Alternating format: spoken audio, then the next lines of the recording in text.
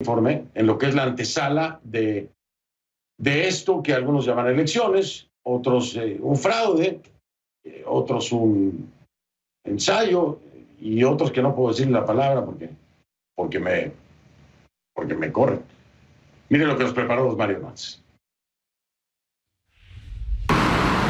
Unas pocas vallas y carteles marcan el ambiente electoral en la capital venezolana a pocos días de las elecciones parlamentarias previstas para el 6 de diciembre, las primeras en pandemia en este país.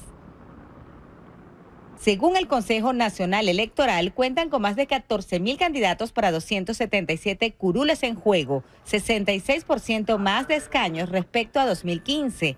Entre las candidatas y candidatos figuran la esposa y el hijo del cuestionado presidente Nicolás Maduro, Cilia Flores y Nicolás Maduro Guerra. También el exministro de Comunicación Jorge Rodríguez y el actual presidente de la Asamblea Nacional Constituyente Diosdado Cabello, entre otros rostros conocidos del chavismo. Pero con mucha firmeza decimos que el 6 de diciembre gana la revolución bolivariana.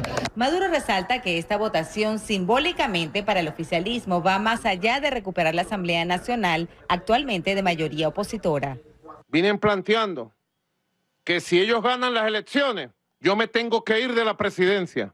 Un plebiscito. Si el 6 de diciembre es un plebiscito, yo llamo al pueblo a ganar ese plebiscito entonces. Llamo al pueblo a la batalla. Toca, sube. Ah. Sin embargo, para muchos se trata de unos comicios sin emoción, en los que el resultado ya está cantado, pues solo participarán fracciones de los partidos de oposición a los que el Poder Judicial les otorgó las tarjetas de esas toldas políticas tras anular las directivas originales. Algunos de los que participan se distanciaron del presidente de la Asamblea Nacional, Juan Guaidó, y ahora constituyen un bloque de oposición crítico también a esa parte de la oposición.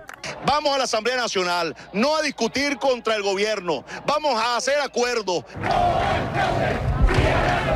La mayor parte de los opositores que en 2015 lograron una contundente victoria con dos tercios del Parlamento no participarán en esta elección por considerar que se trata de un proceso fraudulento. En paralelo, llaman a sumarse a una consulta popular para rechazar los comicios. El a rechazar el fraude, dejar solos esos centros de manera de contestar a la pregunta no solamente del mundo, sino de nosotros mismos, que somos mayoría, que la vamos a ejercer y que vamos a estar en las calles. Según cifras del Consejo Nacional Electoral, 20.7 millones de venezolanos está habilitado para participar en las elecciones del 6 de diciembre. Sin embargo, según un estudio reciente revelado por la encuestadora privada Consultores 21, 22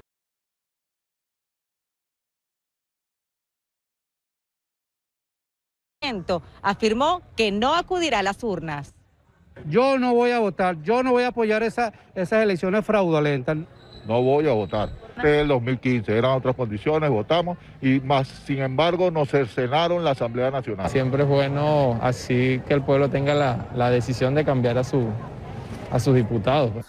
El árbitro electoral asegura que todo está listo para garantizar el voto ciudadano y llama a los electores a participar, aunque reconocen algunas limitaciones no es la mejor campaña electoral que, estamos, a la cual estamos asistiendo. Hay muchas razones. Una, bueno, estamos en pandemia. Dos, la situación económica del país. Tres, hay una parte de, los partidos políticos que insólitamente llama la atención cuando deberían estar participando. Bueno, todos esos elementos, por supuesto, te hacen, digamos, eh, presentar un proceso electoral que no es el, mejor proceso electoral de la historia.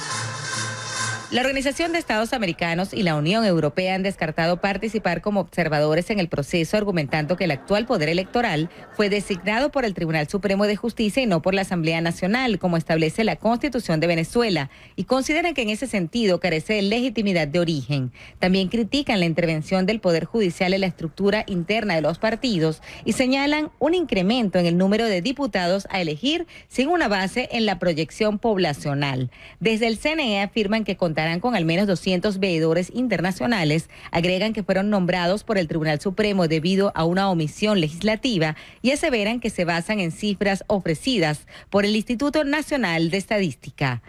Para CNN, Osmaria Hernández, Caracas. Gracias